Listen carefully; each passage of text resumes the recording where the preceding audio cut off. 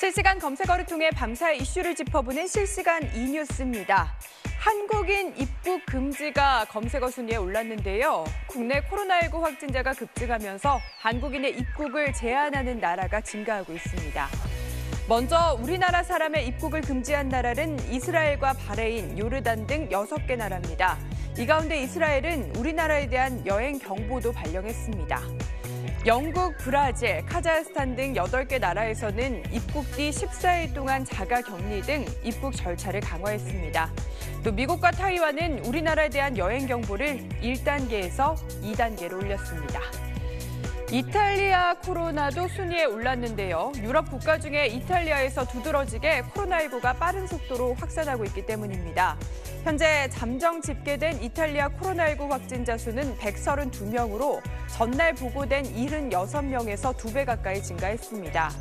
지난주 중순까지만 해도 중국인 관광객 2명과 중국 우한에서 철수한 자국민 1명 등 3명에 불과했던 확진자가 최근 며칠 사이에 급증한 건데 특히 중국 등을 여행한 적이 없는 확진자가 속출하면서 지역 감염 확산에 대한 우려가 커지고 있습니다. 코로나19 사망자도 3명이나 나오면서 아시아 국가를 빼면 사망자가 가장 많은 나라가 됐습니다. 이탈리아 정부는 감염자가 늘어나고 있는 이탈리아 북부 10여 개 마을에 이동 제한 조치를 내렸습니다. 이탈리아 프로축구 세리에이 경기는 물론 베네치아 카니발 역시 취소됐습니다. 이어서 세대별로 많이 본 뉴스 살펴보겠습니다. 40대는 코로나19로 전국 유치원과 초중고등학교 개학이 연기되면서 맞벌이 가정에 비상이 걸렸다는 기사를 많이 봤습니다. 위기 경보가 심각으로 격상되며 다음 달 2일로 예정된 유치원과 초중고 개학일도 9일로 연기됐습니다. 교육부는 일선 학원에도 당분간 휴원할 것을 권고했는데요.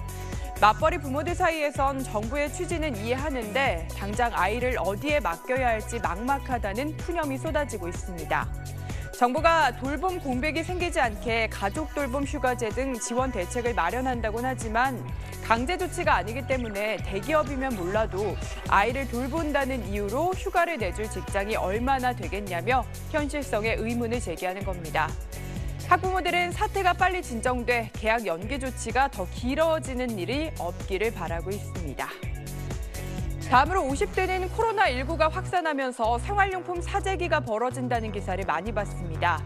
확진자가 급증한 대구의 한 대형마트에서는 지난 주말 개점 시간 전부터 마스크와 생필품을 사려는 소비자들로 수백 미터 줄이 생겼습니다.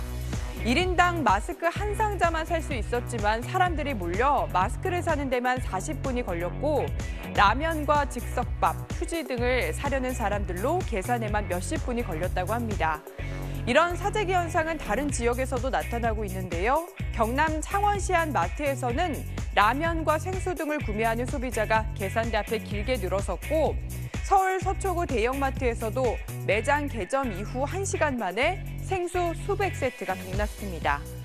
동시에 외출을 꺼리는 현상도 두드러져서 온라인 장보기 매출이 급증하고 있습니다. 지금까지 실시간 이뉴스였습니다.